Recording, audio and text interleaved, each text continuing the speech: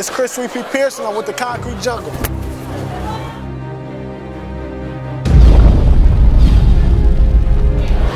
Koncrete Jungle here with Chris Sweet Pea Pearson. Chris, you had what happened to be the most exciting fight of the night. Tell me a little bit about it. Uh, it was a tough fight. I knew I was coming in fighting a, a, tough guy. You know, he's he's like ranked in the top three in the country in the WSB. So I knew he was experienced. I knew it was going to be a tough fight, but I just was, you know, praying for the strength to do whatever I needed to do to get the W.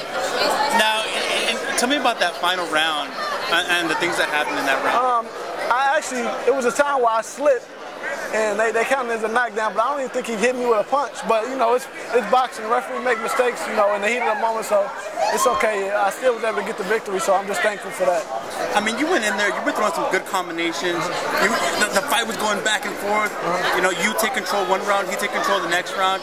What is it about you, man? Every time I see you fight, it's fight of the night. Yeah, you know, I just think I got it in me, you know. I know that sometimes a guy might be getting out on me, and I just mentally, I, I can't let that happen. I can't let him keep getting out. So if a guy get out on me, I know I got to pick it up, so I try to go to another level. But, you know, it's boxing, it's, it's a tough sport, but I love it, and I try to do whatever I can to, to be victorious. Going back to that fifth round, you had to know the scores were a little yeah, close. It was close. And, that, and, and, like I said, that, that was a controversial knockdown. Right, right. But it got called a knock. Did you, were you worried about that at all? Yeah, because but I knew that they had just took a point for him. When they took the point for him, I felt comfortable. Like, all right, all I gotta do is be smart. I got it. But then when they called the knockdown, I'm like, oh, gosh, uh-oh, you know. So I tried to, you know, bite down we, we came in close a couple more times. I tried to let my hands go and try to dig deep and, and out hustling for it. But and I'm, and I'm thankful I was able to get the decision. But know, it was a tough fight. Now, have you ever been in a fight like that with so much drama going on um, going into the fifth round? Uh, because the fans were going crazy. Yeah. You know, when they took the point away from him, a lot of people did excel, but then he dropped you, or there was a controversial drop. Right. Um, how, how, does it make you feel when the when the fans and the crowd here are just buzzing over your fight? Uh, uh you you definitely feel the energy. You know, you feed off of it.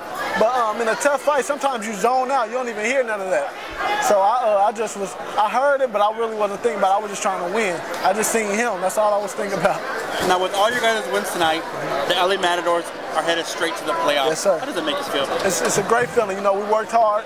Me being a late addition to the team, I was glad I was able to come in and get two good W's, uh, beat a tough guy tonight, uh, stop a, a, tough guy in my last fight. So I was glad I was able to contribute to the team because it's important. It's a team. This is a team sport now with the WSB. So I was glad I was able to help out.